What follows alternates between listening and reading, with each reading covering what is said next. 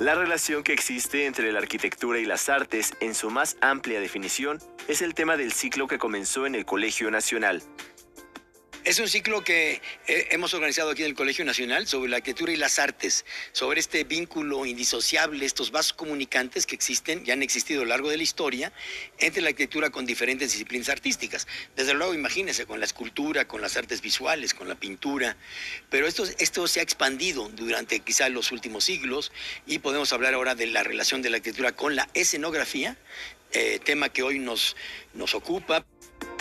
En esta primera sesión participaron Itzel Alba, Philip Amán, Jorge Ballina y Patricia Gutiérrez. En la siguiente se abordarán los lazos con la gastronomía, fotografía y otras disciplinas. Imagínense cuánta arquitectura conocemos, aunque no, sea físicamente, que no hemos tenido la oportunidad de estar en ese lugar a través de la fotografía. El legado que nos dejó, por ejemplo, Guillermo Calo, el padre de, Frida, alguien que registró todo el patrimonio artístico y cultural de México de principios del siglo. Hay una foto histórica de Paulina Lavista, por ejemplo, de Jorge Luis Borges en Teotihuacán. Sin ese, sin ese ciclorama que pueden ser las pirámides de, de Teotihuacán, pues la mirada de Borges podía estar en cualquier otro lugar. Entonces el gran escenario de la vida humana es la arquitectura. Noticias 22, Alberto Aranda.